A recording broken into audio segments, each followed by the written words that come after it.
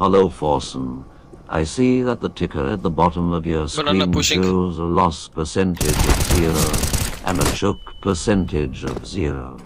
But whenever I watch you play CSGO, I always see a lot of losing and choking.